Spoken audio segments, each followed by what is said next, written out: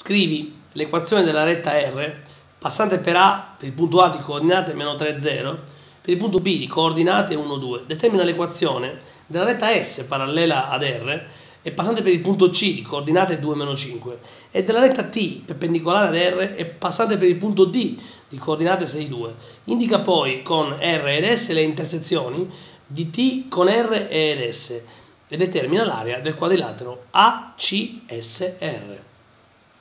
Il problema avanza sembrerebbe difficile, lungo, ma in realtà è sempre la solita salsa, abbiamo visto fino a questo momento, eh, diviso in più parti, eh, e il terzultimo li vedremo tutti quanti, questi di questa pagina, così da far contenti i docenti, così non possono assegnare, no, sto scherzando ovviamente, a parte che non tutti i docenti sanno dell'esistenza del canale, ma anche qualora lo sapessero, voglio dire, eh, basta dare fiducia ai, ai, propri ragazzi, ai propri studenti.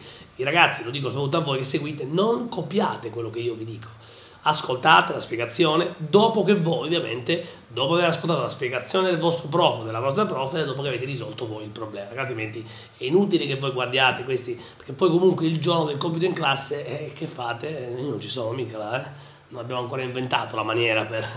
Allora, ehm, cominciamo a calcolare l'equazione, a scrivere l'equazione delle terre passate per i punti A e B, classica formula della retta passante per due punti, la scriviamo.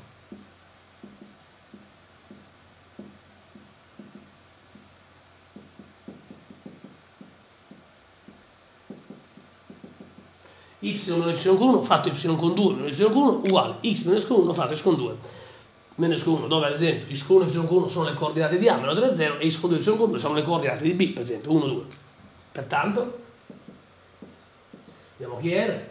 Y meno 0 quindi y. Fratto 2 meno 0 2 uguale. X eh, meno meno 3 quindi x più 3 fratto 1 meno 1, 3, quindi 4.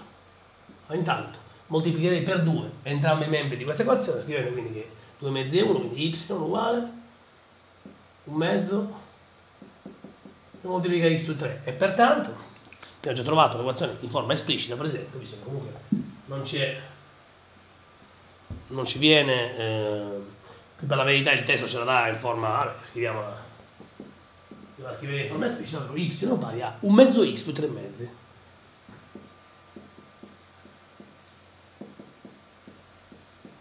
Qualora vogliate, scri vogliate scriverla in forma implicita, basta moltiplicare per 2 entrambi i membri, portare eh, questi termini a, a, sinistra e scrivere quindi che x eh, scrivere, scrivere x eh, meno 2y uh, più 3 che avremo un uh, meno x uh, meno 3 più y uguale a 0 appunto un x eh, meno 2y meno 3 uguale a eh, un x meno 2y più 3 uguale a 0 farlo a mente ma basta farlo e, e lo si fa. Io però la lascerei in forma esplicita il testo ce la dà in forma implicita.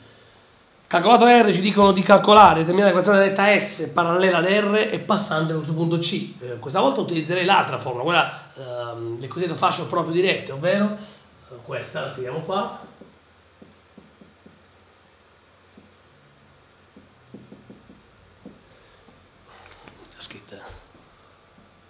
mezza e mezza y meno y 0 uguale m di s in questo caso per x meno y con 0 dove m di s è m di r perché le due rette sono parallele le due rette sono parallele quando hanno lo stesso coefficiente angolare quindi basta scrivere s è del tipo y meno meno 5 quindi y più 5 uguale um, un mezzo vedete? Che moltiplica x meno 2 moltiplicherei per 2 entrambi i membri, scriverei che 2y più 10, 2y più 2 per 5, quindi più 10, uguale a x meno 2, questa volta s io la scriverei in forma implicita per esempio, sì. qui va bene, ma è uguale, se non, ve, se non, ve, lo chiedono in particolare, scrivere in forma esplicita o implicita potete fare quello che volete, quindi porterei questa volta questi termini dalla parte sinistra scriverei x meno 2y meno 12 uguale a 0 che infatti proprio il risultato compare nel testo mancherà, mancherà t mi sembra sì eh, poi scrivono della lettera t perpendicolare r passate per d 6 2 oh, questa volta uh, cosa, cosa, cambia? che due reti sono parallele se hanno lo stesso coefficiente angolare sono perpendicolari se hanno coefficiente angolare l'uno l'antideciprono dell'altro, che significa? Vuol dire ribaltarlo e cambiarlo di segno. Quindi in questo caso eh, scriverei che t, lo scrivo qua, a y meno 2 uguale m di t che moltiplica x meno 6. Ovvero, dunque se m di r e m di s sono, valgono entrambi in entrambi i casi un mezzo, avremo che y meno 2 sarà uguale a meno 2 che moltiplica x meno 6, vedete? Da un mezzo si passa a 2 e lo si cambia di segno, l'antireciproco. Ovvero y uguale 2 meno 2x più 12, dove ho, moltiplicato e ho portato il 2 nella parte destra, il meno 2 nella parte destra e l'ho cambiato di segno. Anche t la scriverò per esempio in forma esplicita, sarà y uguale, ed è meno 2x più 14. Eh, il testo invece ce l'ha anche questa in forma implicita. Bene, RS abbiamo, RST le abbiamo scritte, eh, poi ci dicono, attenzione, di indicare con RS i punti di intersezione, intersezione di T con RS. Allora, intanto andiamo a intersecare. Dunque, R maiuscolo è un punto di intersezione di T, che vedete scrivo appositamente in forma, mi sono scritto in maniera conveniente, in forma esplicita, y uguale a 2x più 14, con R minuscolo, quindi una lettera, ovvero y uguale mezzo x più 3 mezzi. Se vedete, ovviamente sono incidenti perché sono anche tra di loro perpendicolari, ce lo dice il testo. Applicando ad esempio il metodo del confronto, quindi lasciando per esempio ferma y uguale a meno 2x più 14, scriverei quindi meno 2x più 14 uguale a un mezzo x più 3 mezzi. Allora, per prima cosa moltiplicherei per 2 entrambi i membri di questa equazione, avendo, ottenendo un meno 4x, 2 per 14 è un 28, uguale x eh, più 3. E a questo punto eh, direi che devi portare, eh, vale così, 28 meno 3 uguale x più 4x per esempio, no? portando in pratica questo a destra e questo a sinistra. Viene un 28 meno 3 che è un 25 uguale 5x e 5x uguale 25 dividendo per 5 ulteriormente otteniamo che x è uguale a 25 quinti, ovvero 5. Quindi la scissa di R è 5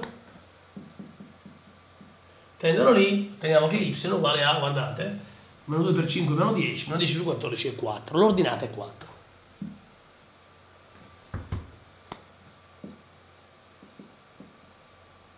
R a coordinate 5, 4. Poi ci dicono S maiuscolo, un altro punto, che cosa volta l'intersezione di T con S. Quindi T è sempre questa, adesso questa volta ce l'abbiamo in forma um, implicita, ovvero x meno 2y meno 12 uguale a 0. Applichiamo questa volta il metodo di istituzione, che è molto simile, parente del confronto. Mettiamolo qui, andiamo x, meno 2 che moltiplica meno 2x, più 14 meno 12 uguale a 0. Allora risolviamo questo, abbiamo x, meno 2 per meno 2x è un 4x, meno 2 per 14 è un meno 28, meno 12 uguale a 0, vediamo che eh, x, più, x più 4x è un 5x, meno 28, oh, meno 12 è un meno 40, che poi a destra diventa un 40. Dividendo per 5 viene x uguale a 40 quinti, quindi x uguale a 8. La scissa del punto S, andiamo poi qua,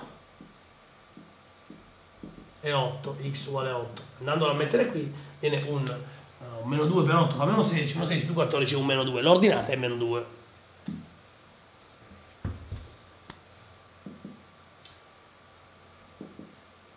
Abbiamo risposto praticamente a tutte le domande. A questo punto cosa facciamo? Beh, a questo punto uh, potevamo già da prima in realtà uh, disegnarle queste rette, ma uh, diciamo che non ce n'è bisogno perché ehm, ci chiedono di determinare l'area del quadrilatero ACSR. Va bene? Allora, andiamo a rappresentare all'interno cartesiano questi quattro punti ACSR. Dunque, disegnato um, questo quadrilatero, di cui ancora non si capisce bene, sicuramente è sicuramente un trapezzo. Per quale motivo? Beh, eh, intanto non si può verificare che sia un trapezzo. Andando a vedere come, se calcolo... Dunque, notiamo subito una cosa. Il segmento AR eh, è il segmento che è contenuto nella letta R, no? Perché eh, è chiaro che eh, se T, il testo ci dice ehm, la letta R passa per A, no? Qui B non c'è, però ci dicono che eh, la letta T, no? che è questa, ci dicono essere ehm, non lo trovo più, ehm, ci dicono che ehm, T, l'ho perso, eh, è perpendicolare eh, a R, passa per, ehm, ci dicono che ehm, ci dicono che T è perpendicolare a R e passa per D. Quindi è evidente che AR è la retta AR è, è la retta contenuta, è la retta R in pratica, no? È un, è un, è un segmento con, con, contenuto nella retta R. RS è la retta T, visto che T è perpendicolare a R, ovviamente, e CS è, è, la retta S, perché ci dice poi il testo che, eh, attenzione, eh, la retta S a sua volta è parallela ad R. Quindi abbiamo ARR, CSS, RST. Di conseguenza, su trapezio, non un trapezio rettangolo, perché abbiamo che se S è parallela a R, abbiamo che un trapezio avente eh, due lati paralleli, un quadrilatero avente due lati paralleli è un trapezio. E visto che RS è perpendicolare a uh, sia R ovviamente che a CS, visto che sono AR parallela a CS, avremo che quella è un'altezza. Quindi basterà semplicemente, eh, per calcolarci l'area di questo trapezio, ed è un trapezio perché i due lati opposti sono paralleli, calcolarsi eh, la misura di AR, la misura di eh, CS e la misura di RS. Base, base più base, eh, la somma delle due basi, diviso 2, tutto per altezza, no? Che questo caso RS. Perché uno dice, ma potrebbe essere un... Um, dal disegno si vede chiaramente come non è non trattasi di un rettangolo, perché se fate, se fate calcolate il coefficiente angolare di AC, troverete che AC non è né perpendicolare ad AR e CS né parallelo a RS, pertanto niente, non, un, non trattasi di un rettangolo come quadrilatero, non poteva avere lì dubbio. Eh, ma eh, se fate bene la figura, io l'ho fatta bene con la tecnologia, voi la fate bene con le squadre, con le righe, non, non vi sbagliate. Calcoliamo quindi la misura della base, che è la base maggiore sul trapezio, che comunque è da considerarsi un trapezio uh, rettangolo a questo punto, uh, AR chi è? AR basta fare la radice quadrata, forma della distanza normale di un 5 meno meno 3, quindi più 5 più 3 al quadrato, più un 4 meno 0, quindi un 4 meno 0 al quadrato, ovvero un uh, radice di 5 più 3 8 al quadrato fa 64, 4 meno 0 4 al quadrato 16, quindi un radice di 80 ma vi ricordo che radice di 80 è un radice di 2 alla quarta per 5, quindi un 4 volte radice di 5, no? Infatti 16 per 5 se lo fate è proprio 80. E poi mi calcolo anche CS, l'altra base. CS noto che anche qui eh, non ho uguaglianza né di né di ordinate, quindi calcolo la, la formula gen generale della distanza, eh, faccio un 8 meno 2, 6, 8 meno 2 al quadrato, che poi è 6 al quadrato che fa 36, eh, meno 2, meno meno 5, quindi meno 2 più 5 al quadrato, quindi ho un radice di, vedo 36 verrà più 9, perché ho 8 meno 2 6 al quadrato fa 36, meno 2 più 5 fa 3, al quadrato fa 9, viene radice di 45, questa volta radice di 45 è un radice di 9 per 5, quindi un 3 radice quadrata di 5. E infine l'altezza, che è RS, vedete che i dati comunque di prima ci hanno, ci hanno consentito di eh, trovare subito di che tipo di quadrato si stava parlando e poi le trovare nell'area, con la formula dell'area di un trapezio. RS in questo caso attuo anche qua, metto in pratica la formula generale della distanza, viene 8 meno 5 che devo elevare al quadrato più